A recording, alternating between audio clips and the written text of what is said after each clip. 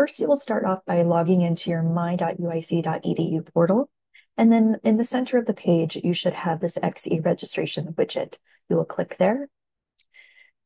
Now you've got many options here. We highly recommend using the class scheduler because that will actually create schedules for you. You just enter the classes that you need and the system will generate a schedule for you and you pick the schedule that you like the best. But if you just need to register for a single class or you know which class you want to register for, you can just go directly to register for classes. You'll select the term open for registration and click continue. From here, you've got several options, find classes, enter CRNs, plans, and schedule and options. We're going to remain on the find classes tab. And We're going to begin with our subject.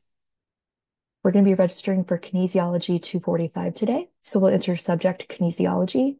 We'll leave the class title blank, and then you'll just enter the course number 245. We recommend checking the open sections only box. You will then click search and it will bring up all sections that are still open. Now you'll notice for a class like KN 245, it has both a lecture and a lab component. This means you'll need to register for two components of the class. You'll need to register for the lecture and then you'll need to register for a lab.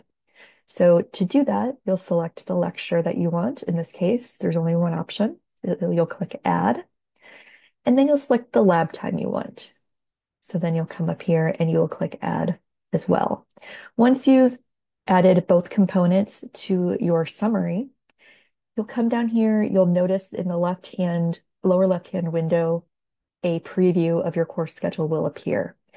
Note that it still says pending. This means you are not actually registered for the course if it's in gray and it says pending.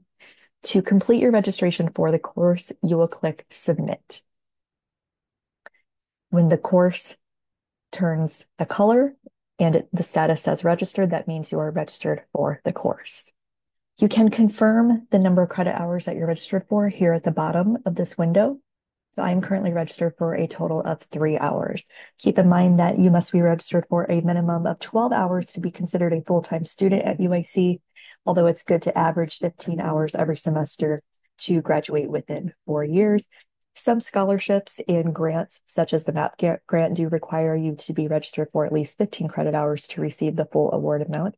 So consult with your academic advisor if you're not registered for 15 hours.